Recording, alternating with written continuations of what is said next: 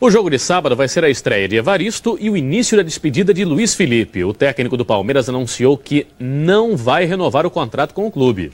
Meu contrato termina em 31 de, de maio, com a prorrogação de mais um mês. E eu, ao término do contrato, pretendo não ficar. Você vai embora ao final do contrato? É a minha ideia.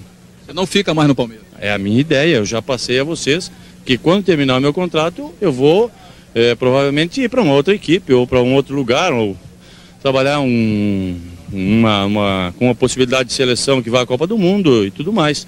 A declaração de Luiz Felipe Escolari caiu como um raio no Palmeiras.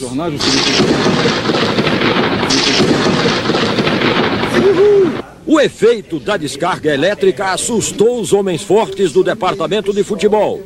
O diretor remunerado do clube, Sebastião Lapola, tratou logo de telefonar para o presidente. O Mustafa continua no clube ou não? Me passa ele que eu preciso falar com ele, urgente, por favor. Mustafa Contursi ficou revoltado com a declaração de Luiz Felipe. Sinceramente, o presidente não está gostando, porque nós temos uma linha no Palmeiras de cumprir nossas obrigações, pagarmos em dia, pagar, fazendo tudo direitinho para evitar certos problemas. Nós somos extremamente felizes, satisfeitos com a eficácia, com a determinação, com a vontade de vencer do Felipe e com o lado vencedor dele. Portanto, não tem por que pensar em mudar alguma coisa.